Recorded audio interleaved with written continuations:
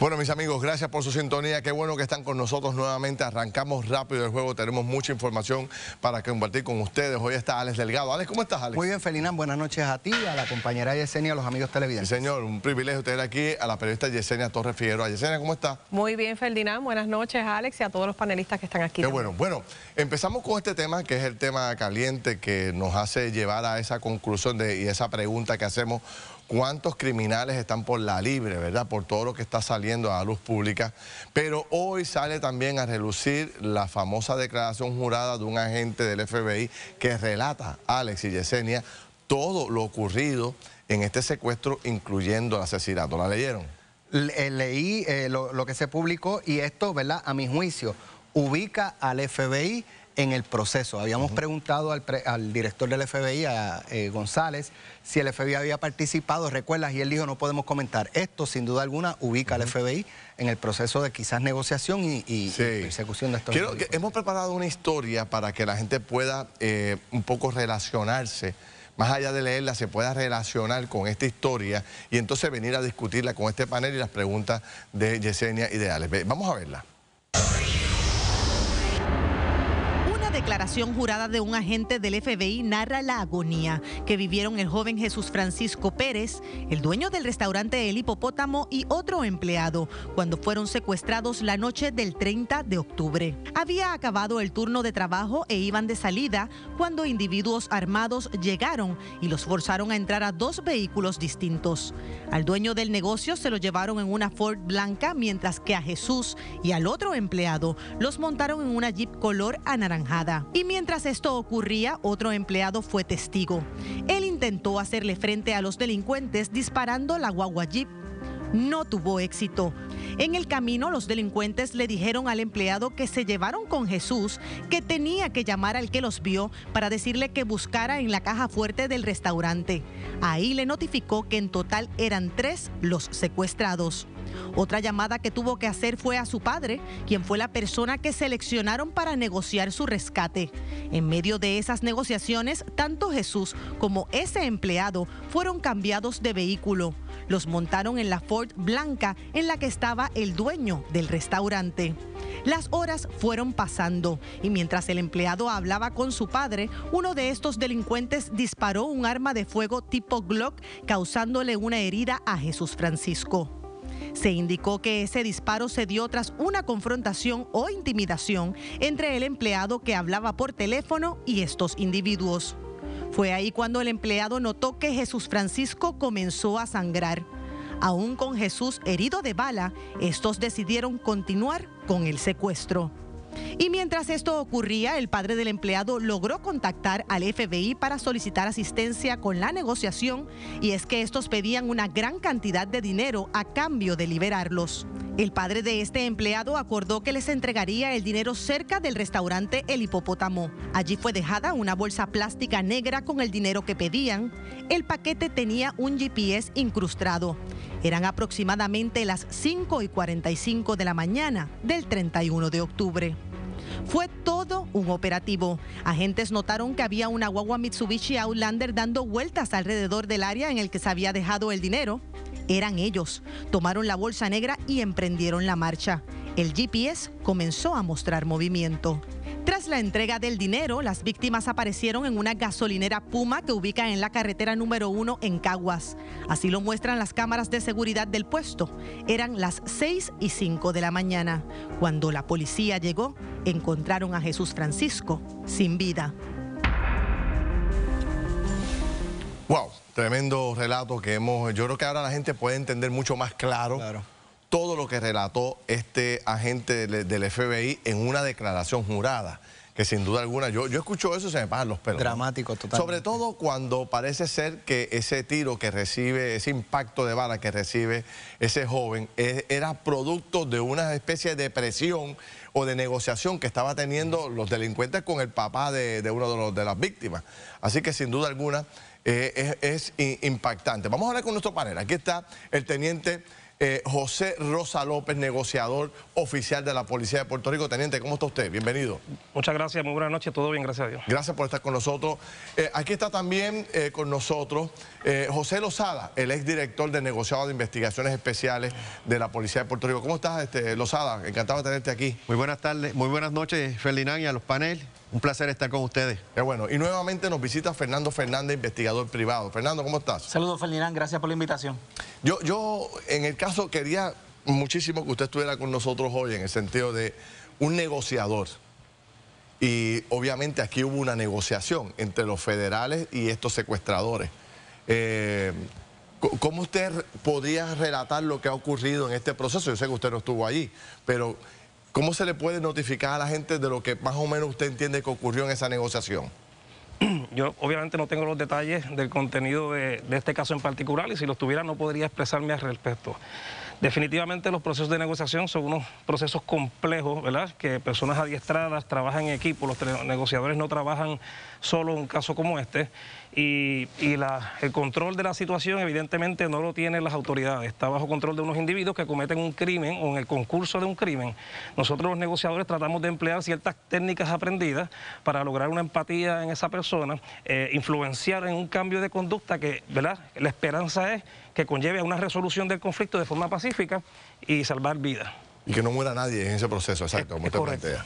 Eh, Lozada, la, experiencia suya, eh, eh, ese dato particular que no es específico de la gente, pero fíjese que ese, ese impacto de bala llega justamente cuando una de las víctimas está hablando con su papá está como una especie de negociación, tratando de conseguir el dinero. ¿Cómo lo relata usted? ¿Cómo lo ve? No hay mucho detalle porque el FBI no va a dar mucho detalle de la investigación porque la investigación está abierta, es una investigación en curso. Faltan dos personas, una identificada y una que no han dado identificación ninguna de él, pero que el FBI ya sabe quién es. Eso puede ser parte de esa intimidación en esa conversación que está teniendo ese joven con su padre para que consiga el dinero y en ese ejercicio uno puede especular que está diciendo, o consigues el dinero o lo mato, y ahí se urge el disparo. Eso es una especulación de mi parte, pero eso es parte de la presión que se mete en ese tipo de gestión que es totalmente irritante para las personas decentes. ¿Puedo analizar, Ferdinand, eh, y perdona Alex, eh, que esta respuesta, o más bien la divulgación de este documento se da para responderle al padre de este joven que todos eh, pudimos ver la pregunta tan directa que él hizo ayer en, el negociado de ciencias forenses, que cómo es que solamente su hijo muere y liberan a dos adultos. Y en cierta medida el FBI desvincularse de que en medio de esta negociación hubo alguno que otro intercambio y que la muerte pues obviamente no recae bajo las autoridades federales. Como madre me hacía esas mismas preguntas, yo decía, pero ¿cómo es posible que liberaran a los adultos? Y obviamente uno como padre que tiene hijos que ya son adultos y trabajan, también se cuestiona cómo, cómo, cómo uno actuaría en medio de una situación como esta y si pudieran librarse de una situación tan difícil. ¿Cómo lo ves, Fernando? Pues mira, eh, yo tengo varias interrogantes. Por ejemplo, cuando el empleado del restaurante dispara, sea, eh, esos disparos, ¿a dónde dieron? Por ejemplo. Lo otro, se llamó a la policía, aparentemente no, porque entonces después es que viene el FBI y entra. Eh, en la parte del forcejeo que estás mencionando, ¿fue en, la guagua o fue fuera de la guagua? ¿Dónde, ¿Dónde tiene el disparo? Habíamos hablado de que era en la cintura, probablemente en la parte de atrás. O sea, esa posición, ¿dónde se desangró? Se desangró en la guagua, eh, le trataron de hacer presión para detener la herida, lo dejaron desangrarse en la calle o, o, murió en la guagua y después lo, lo, dejan allí en el piso. Hay una, hay una, expresión de que eh, había una instrucción de que buscaran en la caja fuerte del negocio. ¿Eso ubica a alguien del establecimiento con toda seguridad participando. Si me preguntas a mí, yo entiendo que alguien sabía de esa caja fuerte y que tenía dinero allá adentro y proceden a obligarlos a sacar el Supuestamente uno de, las personas había, en algún momento había trabajado en el Metropol, en el, en el hipopótamo. esa, es la información corta, escueta, parte del proceso judicial a nivel federal que cuando la gente somete esta querella al magistrado Morgan Marchard para que pueda encontrar que estos individuos entren directamente a la prisión federal y hacer empezar el proceso criminal federal a moverse. ellos no han ido a un gran jurado, todavía no se ha hablado de la fianza, todavía ellos no han hecho su expresión si son culpables o no culpables. Todavía no se sabe si están cooperando o van a cooperar. Entonces es un proceso que a nivel federal se va a, dar, se va a ir dando poco a poco y más adelante. Ahora, pero, pero, perdóname, pero, pero, el hecho de que haya un agente relatándolo todo por escrito, quiere decir que alguien ya está cooperando. Bueno, el FBI participó de esto por la información que tenemos. Ayer el agente Joseph González, agente a cargo del FBI en la isla, no dio mucho detalle. Ya con esta declaración jurada, sabemos que el FBI participó de esa negociación al punto de que hay un GPS colocado en ese burto donde se da la recompensa, el dinero. No se especifica cuánto en esta declaración. Ahora, retomando la línea que trajo Yesenia, me pareció muy interesante usted con su experiencia que tuvo en gobierno, eh, ¿entiende que la publicación de esta declaración jurada es para aclarar ese punto de dónde provino el disparo que acabó con la vida de este niño? ¿Me, contesta, ¿me contesta cuando regresemos de la pausa? ¿Cómo no? Vamos con Yailin, que tiene información importante para ustedes. Así es, Ferdinand. Más adelante, causa para arresto por compra fallida de pruebas de COVID-19. Al regreso, rompe el silencio la licenciada Mayra López Murlero. Además, se avecinan tranque en la reforma laboral. El por qué te decimos más adelante. Ahora paso contigo, Ferdinand.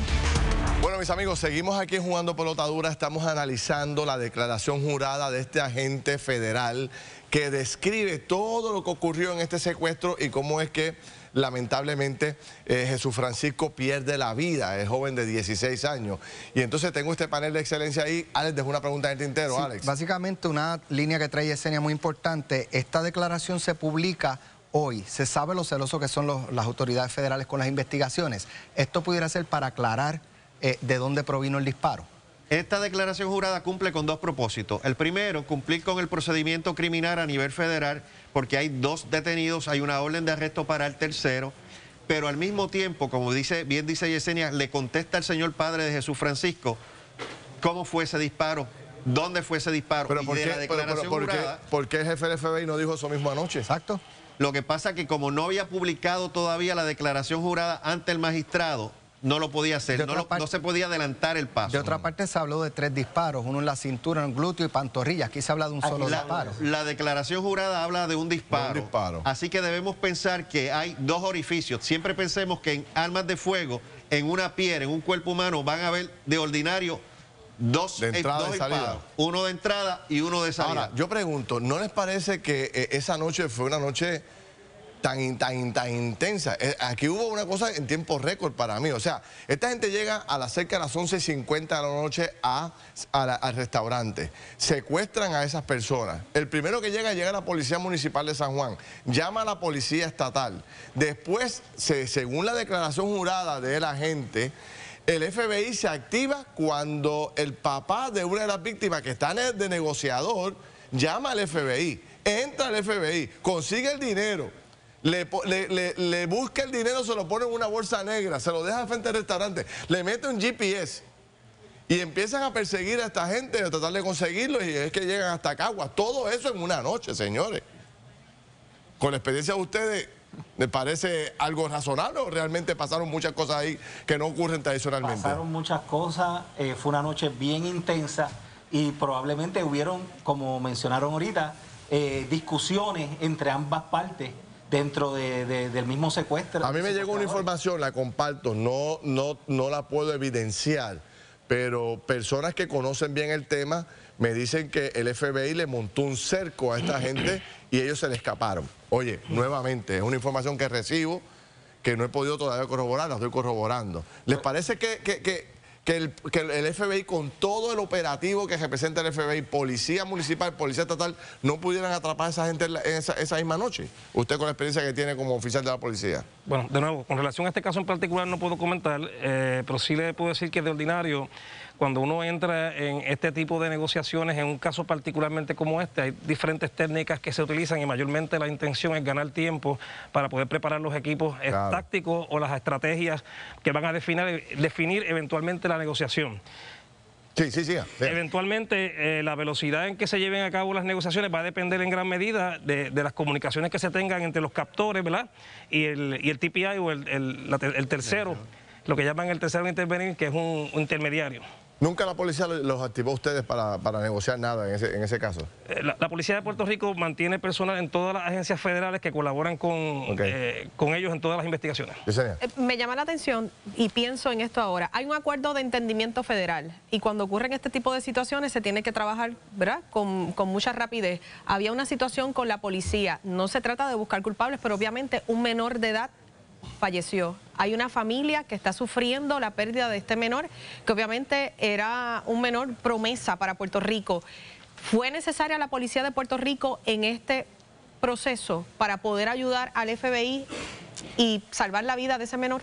Definitivamente el negociado de la Policía de Puerto Rico participa activamente de prácticamente todas las investigaciones que se realizan, tanto a nivel de Estado como con las agencias federales, y compartimos como colegas en el mejor interés de poder esclarecer crímenes y salvar vidas. y este caso obviamente no debe haber sido la excepción, eh, pero de nuevo entro en, no necesariamente está bajo control de las autoridades eh, cuando un captor retiene a una víctima bajo amenaza de muerte. Nosotros intentamos hacer todo lo que está en nuestro poder y aplicar todos nuestros conocimientos, ¿verdad?, para salvar una vida, pero no siempre está bajo nuestro control. Una pregunta final, este, Lozada. Eh, eh, a este hombre lo están buscando hasta debajo de las piedras, a Joffrey y Yomar Pérez. Tiene toda la policía estatal y local buscándolo. O sea, ¿dónde se puede estar escondiendo este hombre con la experiencia que ustedes tienen que no aparezca? Porque obviamente debe haber recompensa ahí de todo. Los otros dos que se entregaron, entregaron porque entendían que su vida corría riesgo. Tienes que pensar que él sabe que lo están buscando, su familia sabe que lo están buscando, están siendo monitoreados muy de cerca. Alguien decía los otros días que le soplaban en el cuello, pues le están soplando en el cuello. No puede tener comunicación, porque si tiene comunicación lo van a detectar. Claro. No puede estar en los sitios que frecuencia, porque en esos sitios hay vigilancia. Así que debemos pensar que en algún monte está mm. escondido, sin comunicación, y de esa forma está evadiendo las autoridades, pero le queda poco tiempo porque como siempre pasa, va a cometer el error y lo van a capturar. Si se entrega, no se enfrenta a las autoridades y no hay un fuego cruzado. Si hay un fuego cruzado, probablemente va a fallecer en el mismo. Wow. Te quería añadir algo sobre el rastreador. Nosotros utilizamos rastreadores en nuestras investigaciones. Eso marca la posición cada 5 o 10 segundos. Cuando el FBI llega, yo lo que veo es que la guagua ya está quemada. O sea que en parte soporta la teoría de que probablemente pasó algo que los perdieron de momento. Claro. Bueno. Gracias a los tres, me pareció interesantísima la conversación con ustedes. Vamos a ver qué pasa en las próximas horas eh, sobre este caso tan extraordinario. El país entero está detrás del mismo buscando que esto se solucione lo antes posible. Vamos con eh, Alex Delgado. ¿Dónde? ¿Vamos con, con quién vamos? Con Yailin. Vamos con Yailin que está aquí con nosotros con más detalles. Aquí estamos y tenemos el adelanto de nuestra próxima entrada y es que le sale caro la fallida compra de pruebas de COVID-19. Al regreso lo discutimos con la licenciada Mayra López Mulero.